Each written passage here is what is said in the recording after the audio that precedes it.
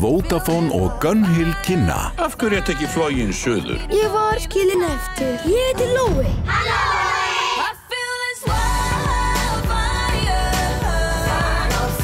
Lói, íslensk fjölskyldumynd, frumsýnd annan februar.